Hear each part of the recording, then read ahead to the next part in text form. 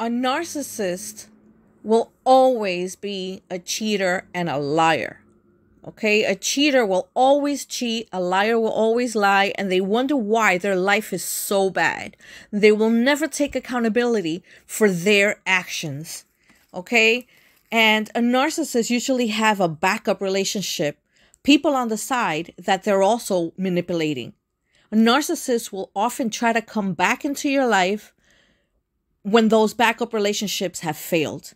I want nothing to do with my old narc. I this is what I have as as his contact saved to my phone.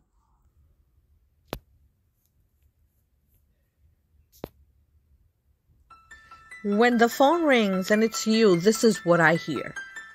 You even have your own ringtone. Okay? You're the devil incarnate. You keep coming back at me with different accounts. Stop it. Okay? Stop sending me messages. Stop trying to contact me. I'm done. I'm done with you. I've blocked you so many times through emails, texts.